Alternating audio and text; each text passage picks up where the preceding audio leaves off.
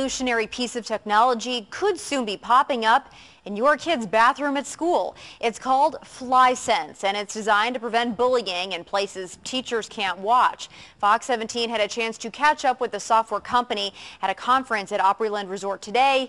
Here's a look at how it works.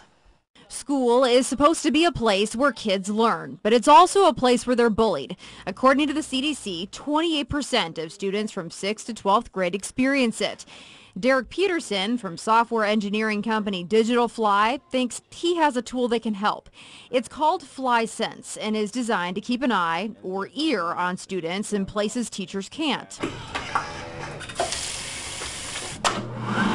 Like the bathroom. Unfortunately, this past summer or this past spring, a young child was bullied in the bathroom, then eventually went home and killed himself. That happened in Ohio.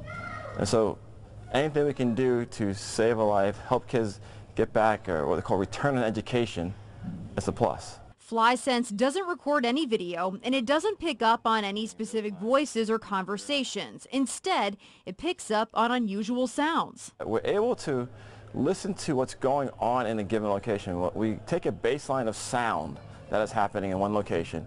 And then we normalize that, that becomes our baseline. And then over the course of time, we listen to what the anomalies are. The device hears things like doors slamming, fighting, and screaming, and then alerts the grown-ups. There was an incident in bathroom A, incident in the lunchroom four minutes ago. So we're continually updating data and make sure everything is real time as possible as we send information off to the appropriate uh, people. Locals who attended today's conference on anti-bullying at Gaylord Opryland learned about the device. In middle schools especially, I think it would be astronomically great and um, in larger high schools where there is a lot of fights in the bathroom the kids aren't really going to care that that's there. A lot of kids maybe not even know. New kids coming in wouldn't know, so it would catch a lot of that when it starts.